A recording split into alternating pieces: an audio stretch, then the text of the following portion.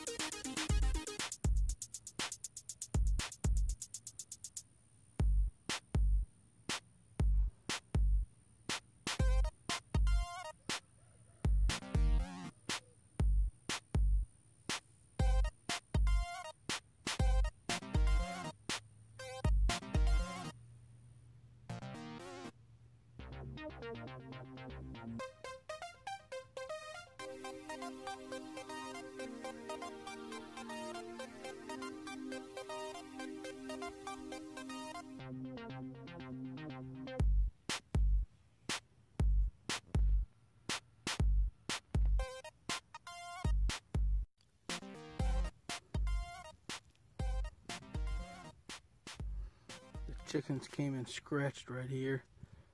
Probably ate my seeds or exposed them. These were the heirloom red giant mustard greens. I'm going to have to plant this again.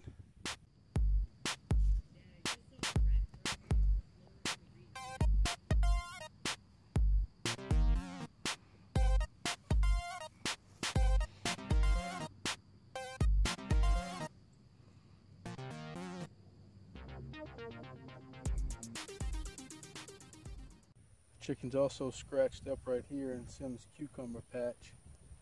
So he planted some more seeds. And one of these plants died. The tomato plant.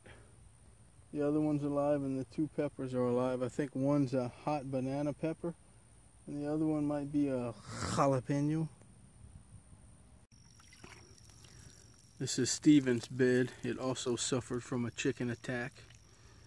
He has cucumber seeds and sugar snap peas, I think. I, I think he put them too deep though.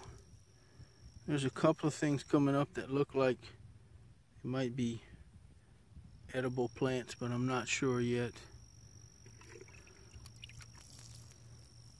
They'll water this again later. I'm just helping them out since I was out here already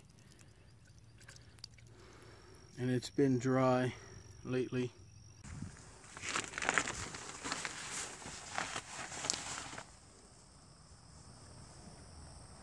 The M.I. Gardener Hillbilly tomato plants or seeds did really well.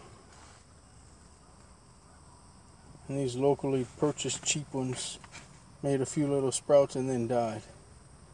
There's the gardenia bush. Up. It's a frost tolerant kind. Looking forward to it blossoming.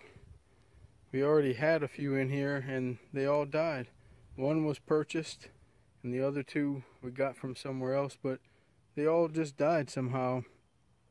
This one is okay. It's been here probably six months, so it made it through the winter. But gardenias are so awesome. They smell amazing this this whole 50 foot area will probably smell good and sweet when it blossoms. It makes this cool fluffy delicate white flower. I had some purple queen or wandering Jew pieces planted in here that my brother and his wife gave us and the chickens that kept getting out scratched that up too. I don't see any of them anymore. I wanted to use that as ground cover Here's a young pecan tree that my parents gave us. That will be the new generation as these 40 year old, 50 year old ones around here start to have troubles and, and die off and fall apart. We have another one still in a pot and I need to really find a place to put it. I will probably put it next to Old Smoky right there once I finish cutting them down. Here's a muscadine vine. And its twin is over there by that post. And right over here is a plum tree.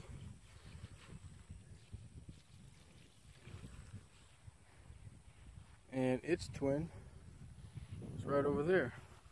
Got these from my parents. Then we have our dwarf banana trees that we bought on sale.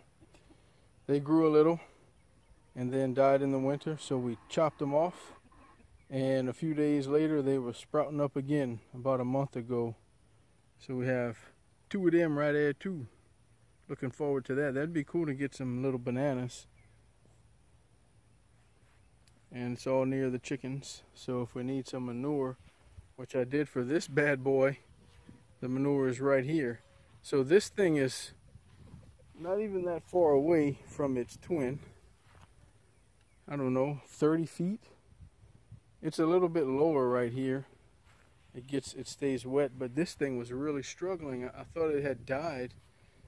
And I put some chicken manure a few feet around it a couple of different times and watered it in. Yum, yum, good stuff.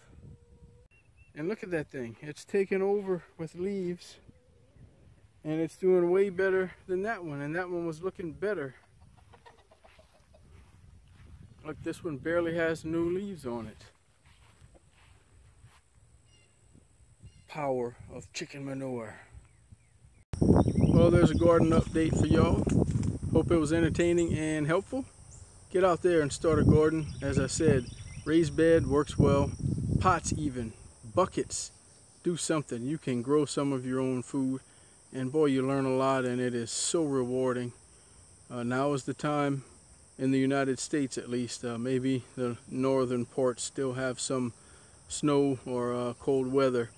But uh, you can start something with a little plastic teepee over it or a little greenhouse. And uh, right now it's it's not going to be cold anymore. We won't have any more nights even near freezing. Uh, so it's, it's plenty time to put things directly in the ground. And those little tomato sprouts in the little greenhouse, those are going to go in the ground soon too. Really looking forward to it. We're excited. So take care. We'll see you on the next one. Thanks for your support of this channel. Au revoir.